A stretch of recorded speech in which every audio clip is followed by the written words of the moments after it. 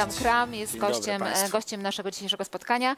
E, Adam Kram, którego pewnie przedstawiciele branży eventowej znają jako reżysera, realizatora, muzyka, bardzo mocno związanego z eventami, ale Adam to także ratownik medyczny i dzisiaj w tym szczególnym czasie e, oba te tematy łączy, bo w firmie Epi Expert odpowiada za dział współpracy właśnie z organizatorami eventów.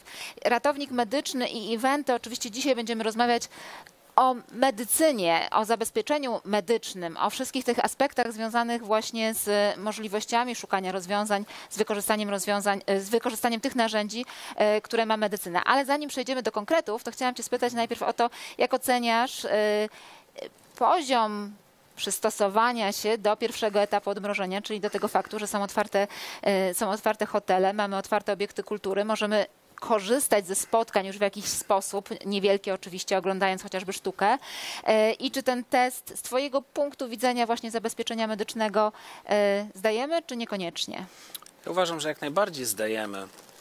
E, wiesz, pozwolenie na sztuki teatralne, no to moim zdaniem już od dawna powinno to mieć miejsce, dlatego że umówmy się, no w teatrze, gdzie ludzie siedzą co drugi, e, drugi fotel, to ciężko mówić o jakby zarażeniu się, chyba że w toalecie, no ale to umówmy się, to jakoś nie jest chyba najczęstsze miejsce e, zarażeń, więc ja uważam, że teatry są doskonale przygotowane. Zresztą ja pracuję w dwóch teatrach e, i, i szczerze mówiąc dziwię się, dlaczego to jeszcze nie jest otwarte. Tak samo hotele, jakby Hotele są doskonale przygotowane do, do, do w ogóle do utrzymywania reżimu sanitarnego. E, Do, mają mnóstwo rozwiązań, doskonałych rozwiązań, nowoczesnych rozwiązań, pomiary temperatury przeróżnego rodzaju, e, urządzenia do dezynfekcji. Naprawdę patrzę e, jakby z perspektywy i medyka, i osoby, która przecież zna doskonale hotele właśnie z branży spotkań i, i nie rozumiem, dlaczego... Czyli z Twojej perspektywy, z perspektywy medyka, tak na dobrą sprawę, te podmioty są gotowe do tego, żeby w tym otoczeniu, które mamy, mamy dzisiaj, funkcjonować i funkcjonować bez dużego ryzyka dla potencjalnych gości. Ja w ogóle uważam, że hotele wykonały gigantyczną pracę w kontekście elastyczności swojej, co rok temu jeszcze nie było aż tak, tak bardzo widoczne, natomiast no, pandemia wiadomo, że dotknęła bardzo mocno hotele i widzę, że zupełnie z innym, e, z innym trochę partnerem zaczynamy rozmawiać. Tak? To, co było niemożliwe jakiś czas temu, nagle się okazało, że jest rozwiązanie na to i to jest super informacja przede wszystkim dla organizatorów eventów. No ta transformacja nastąpiła rzeczywiście na bardzo różnych i to dostosowanie na bardzo różnych poziomach, ale wracając do tego aspektu, aspektu medycznego, no powiedziałeś, że no w zasadzie to powinno być już otwarte, a jednak jeszcze nie jest, a branża eventów oczywiście czeka cały czas na to, żeby, y, żeby móc pracować, żeby to odmrożenie nastąpiło. No to teraz pytanie, czy y, z Twoich doświadczeń i właśnie z tych narzędzi różnego rodzaju, mam na myśli między innymi testy, czy są tego rodzaju e, narzędzia, które mogą pomóc w tym odmrażaniu i które mogą spowodować, że organizowanie wydarzeń no, będzie bezpieczniejsze. Jak najbardziej. Jakby mm, my przede wszystkim w EPI, w EPI Expert zajmujemy się jakby testowaniem przesiewowym, tak? czyli pomagamy firmom, e, aby nie skupiały się na walką z pandemią, tylko próbujemy my znaleźć rozwiązanie, jak zrobić, żeby firma nie miała lockdownu, który w mojej ocenie jest trochę średniowiecznym y, sposobem radzenia sobie z takimi sytuacjami. I wprowadziliśmy w bardzo wielu firmach, dużych firmach, wielkich korporacjach system testowania przesiewowego pracowników. I proszę Państwa, co dziwne, te firmy nie mają lockdownu. Funkcjonują doskonale, bo co jest najważniejsze w testowaniu? W testowaniu najważniejsze jest znalezienie ogniska. Ognisk, ogniska, które jakby należy jak najszybciej wyeliminować. Dlatego też e, nie do końca w testowaniu przesiewowym, takim ogólnym, społecznym, sprawdzają się testy sanepidowskie, czyli testy PCR, które Dobrze, to jak już mówimy o takich rzeczach właśnie e, bardzo konkretnych, to powiedzmy, jakie są rodzaje testów i które Twoim zdaniem z, e, z tych rodzajów testów mogłyby być wykorzystywane w, w środowisku eventowym bardzo szeroko rozumianym. Tak, to jest bardzo ważne, żebyśmy my jako organizatorzy imprez mieli świadomość, jakie mamy narzędzia.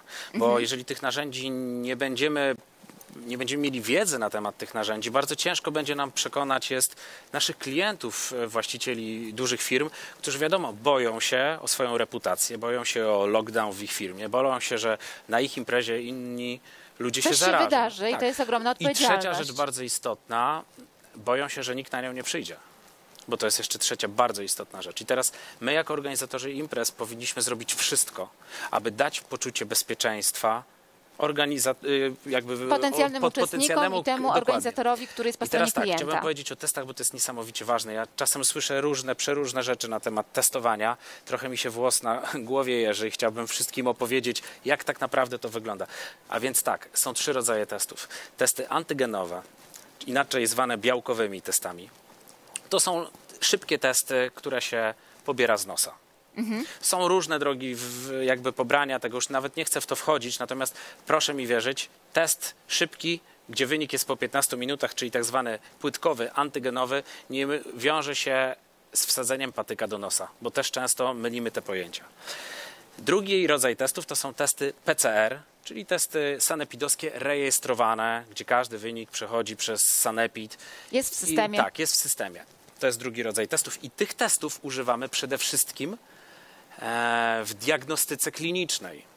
Czym się różnią teraz testy antygenowe od testów e, PCR? A więc test antygenowy w momencie wyniku pozytywnego mówi nam, że jestem zarażony koronawirusem, zarażam innych.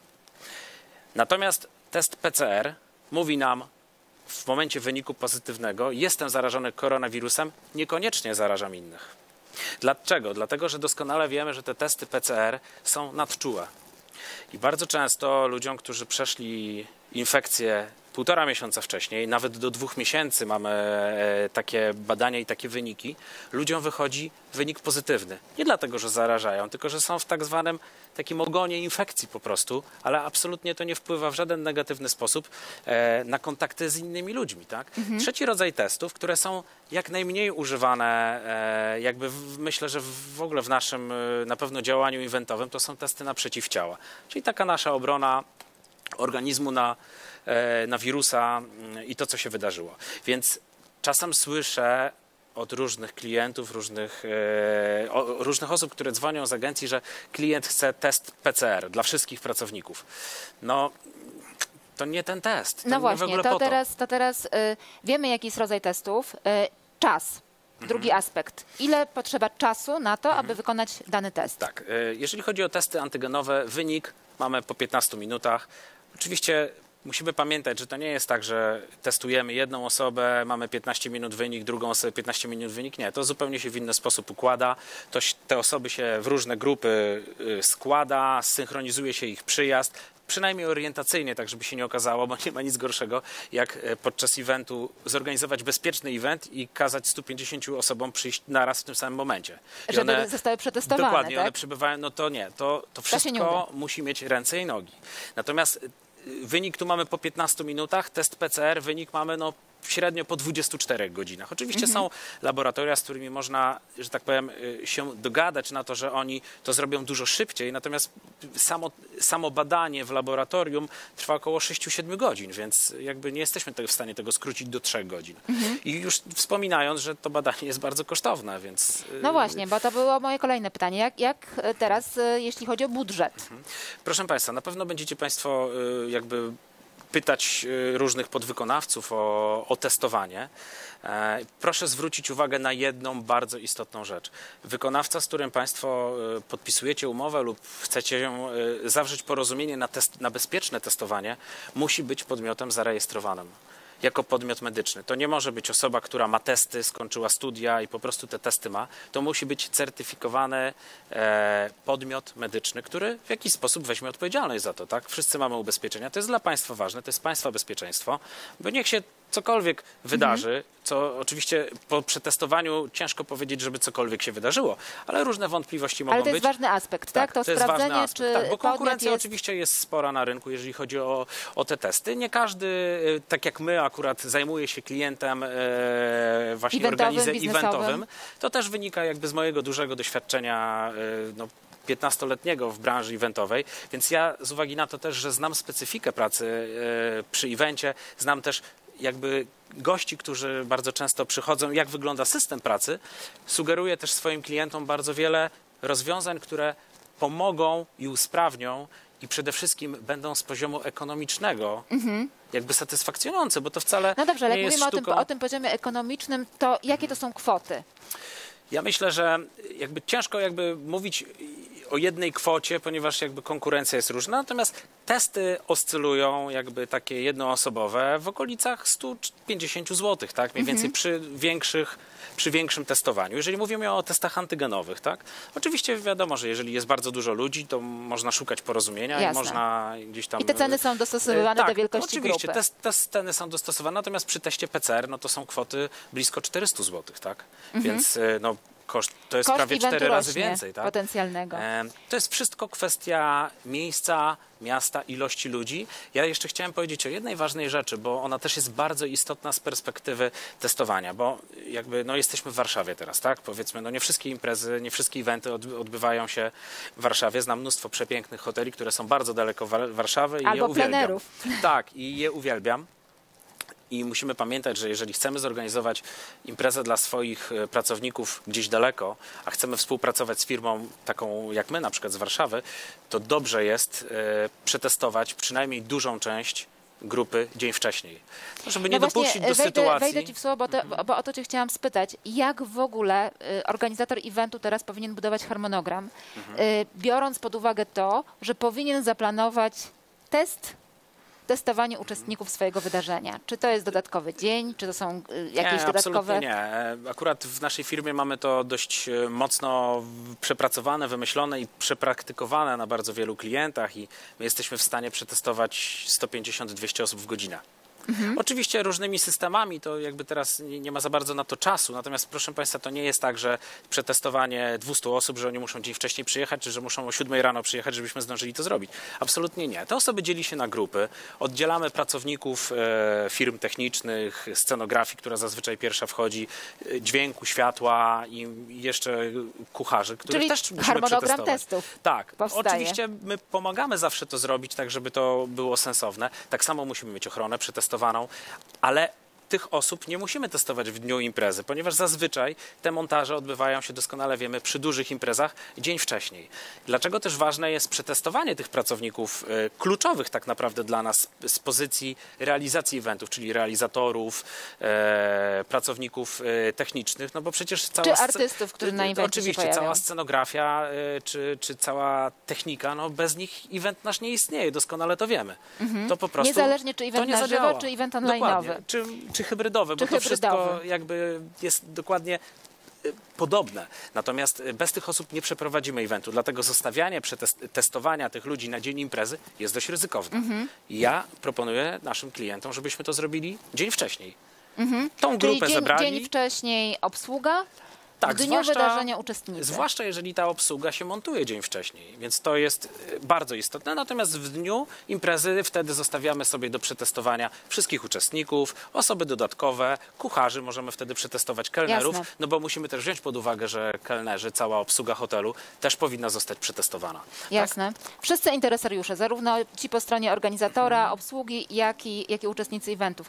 Na koniec, y, Adam, w takim razie pytanie o przyszłość. Uważasz, że w, y, to, że szczepimy, jesteśmy w, w procesie szczepienia, są testy, nastawienie chyba się trochę też zmienia do wydarzeń i do spotykania się, to jest y, duża szansa na to, żeby branża y, krok po kroku była odmrażana, żeby eventy zostały znowu otwarte, oczywiście w reżimie sanitarnym, ale jednak. Ja bym e, wolał, żebyśmy raczej operowali e, takimi stwierdzeniami, co my możemy zrobić sami, aby odmrozić tę branżę eventową, niż żebyśmy czekali na szczepienie. Dlatego, że wyszczepienie tak dużej grupy ludzi, nie chcę być pesymistą, ani e, nie chcę też zniechęcać nikogo, ale to będzie długi proces. I To będzie, widzę to z perspektywy medycznej przede wszystkim. Proszę Państwa, zaszczepienie jednej osoby to jest, y, potrzebujemy trzy osoby medyczne do tego i minimum 45 minut czasu, a musimy to zrobić dwa razy na grupie, no powiedzmy, już odejmując małe dzieci, 30 milionów osób. Więc to szybko się nie stanie. Raczej Czyli uważam, szczepienia to dalsza perspektywa, Szczepienia to jest a dalsza teraz perspektywa, możemy działać prewencja. przesiewowo dokładnie i cała cała profilaktyka i wszystko, co możemy zrobić, jest naprawdę mnóstwo rzeczy do zrobienia, które my możemy zrobić, żeby ten event się odbył. Nie musimy czekać na to szczepienie. To, co ja bym chciał skierować do, do branży eventowej, tak naprawdę, do osób, które mają możliwość, że tak powiem, e, i wpływ na to, to spróbować e, przekonać władzę do tego, abyśmy mogli realizować eventy po przetestowaniu. To będzie naprawdę olbrzymi krok, bo jeżeli to nam, to, to zostanie nam dane i ta możliwość zostanie nam dane, to jestem przekonany, mamy tak wspaniałą i kreatywną branżę eventową, że nic innego nie stanie nam na przeszkodzie i będzie dużo łatwiej zrealizować imprezę, no bo teraz jest to po prostu niemożliwe. To niech ten e, twój apel będzie kropką nad i naszej dzisiejszej rozmowy. Ja bardzo serdecznie dziękuję. E, Adam Kram, w e, Epi Expert, odpowiada za współpracę z organizatorami eventów. Meetingplanner.pl dzisiaj ze studia Event Room i Kameleon. Do zobaczenia. Super. Dziękuję, wszystkiego dobrego.